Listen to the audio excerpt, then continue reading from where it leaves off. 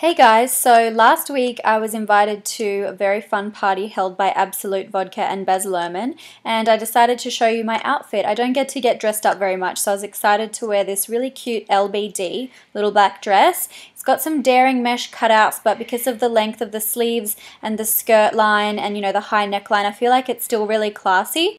I wore it with a black clutch and then these gorgeous brown high heels that have got a bit of gold detailing on the straps. They're really high, but I still find them very comfortable because of the ankle strap. Um, my nails are then painted with like a hot pink, and I felt like that was a really fun contrast there. Um, and then for my jewelry, I was just wearing a simple gold ring that I wear on my wedding ring, even though I'm not, you know, I'm just in a relationship, a fine wrist chain, and then a chunky wristwatch, which I thought made it a little bit more casual. My hair, I put in a ponytail and I teased the back a little bit and then let my, I guess you'd call that like kind of bangs, I don't know, fringe, and I just put it on the side and then flipped it over so it'd look really sleek and I'm really happy with how it came out. That's just a close-up of my clutch. It's patent leather and it is by YSL. So it's one of my good ones, but that's why I wore it for this event.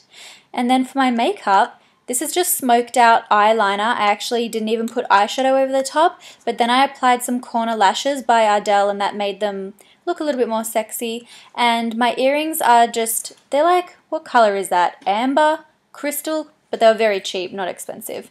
Um, if you're wondering, my nail is Gel Enamel by Fuse. I think the color was Polar Bear and, oh, what was the other color? I'll put it below. Anyway, I'm just showing you my lip combination right now. That is Biscay Pink by NARS Satin Lip Pencil. And then just to add some gloss and texture to my face, this is the MAC Moth to the Flame Dazzle Glass, and I'm pretty sure that was a gift from my friend Georgie, so thanks Georgie. I really love that lip gloss.